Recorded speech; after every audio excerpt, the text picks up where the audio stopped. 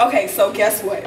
What? You know, the sun really rises at nighttime, but it be so scared that everybody gonna find out that it's really daytime, so it hide behind the moon at nighttime. But you know, it's really daytime at 9 o'clock, but it's scared that everybody gonna know that it's daytime at 9 o'clock, so it hide behind the sun so nobody really knows. So it's 9 o'clock if it's nighttime, but really it's daytime. Are you sure. Yeah!